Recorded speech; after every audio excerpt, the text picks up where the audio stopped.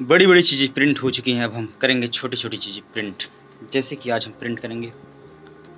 marker तीन रुपए वाला पेन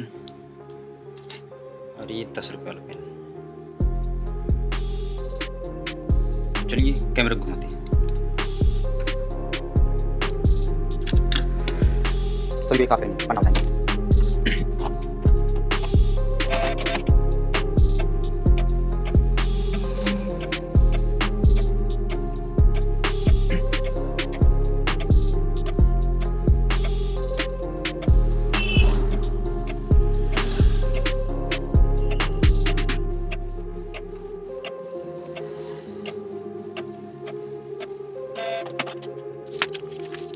ये है पूरा प्रिंट आउट